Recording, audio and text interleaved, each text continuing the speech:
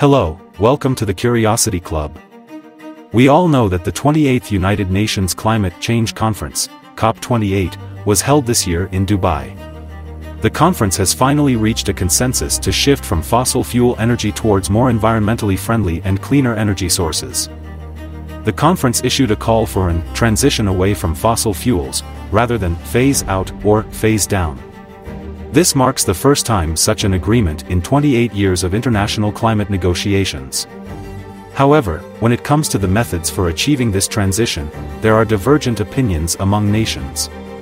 It seems that while there's a consensus on the goal, each country has its own calculations regarding how to accomplish it. The increasing demand for energy by humans is met through continuous technological innovations.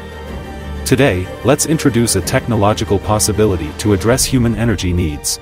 Small modular nuclear reactors. Or to say SMRs.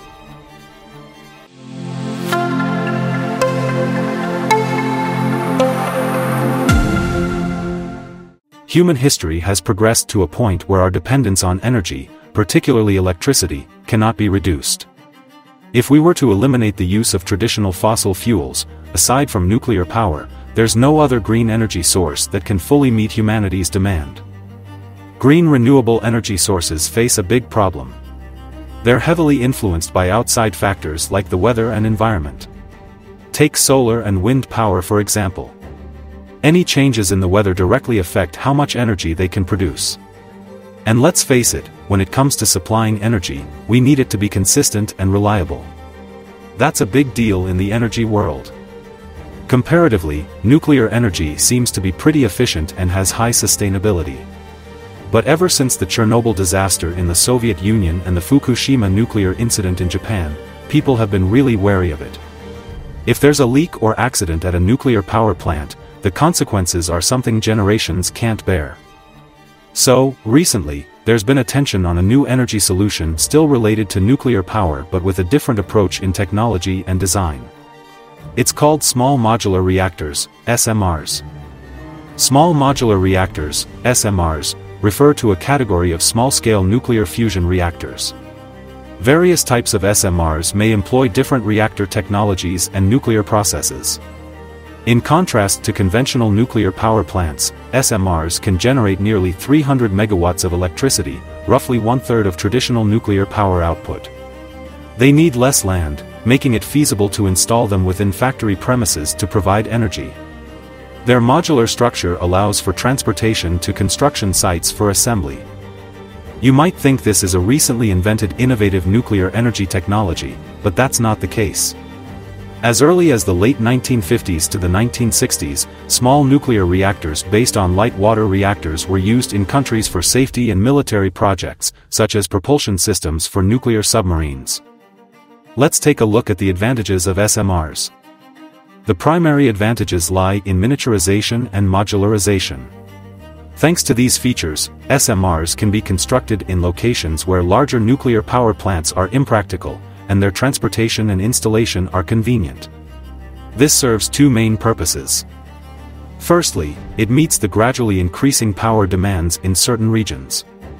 Secondly, for remote areas where the cost of laying power transmission grids is high, establishing small modular nuclear power plants, whether integrating into the existing local grid or providing independent power, offers a cost-effective choice.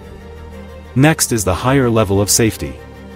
Compared to traditional nuclear reactors, SMRs feature a simpler overall structural design. Many components, such as the nuclear steam supply system and coolants are housed within a single container.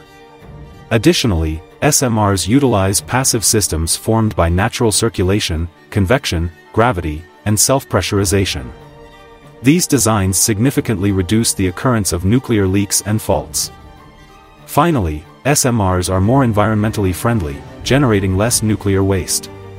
Traditional nuclear reactors typically require fuel replacement every 3 to 7 years, whereas SMRs have reduced this cycle to 1 to 2 years.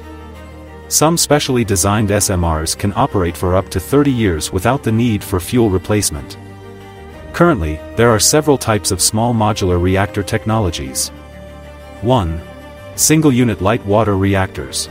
Currently under construction are China's Linglong 1 project and Argentina's CAREM Small Modular Nuclear Energy Project.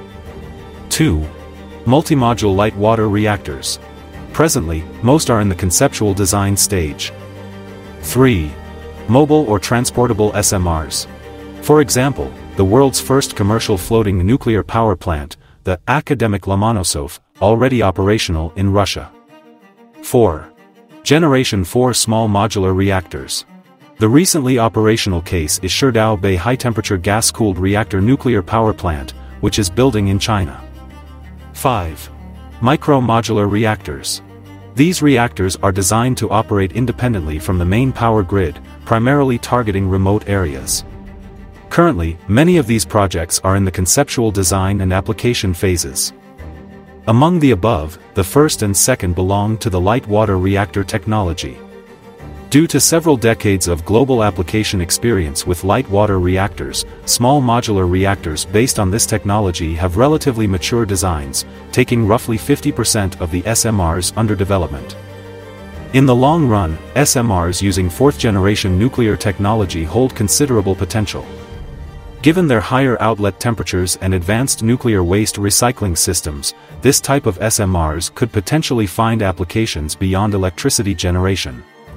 However, due to the use of non-traditional coolants like liquid metal, molten salt, gas, and different system configurations in fourth-generation technology, they lack practical application validation and operational regulatory experience. Therefore, they face challenges in regulatory approval. We still hope that technologies could steer us through the uncertainties of tomorrow. Okay, that's what we got of SMRs. See you next time.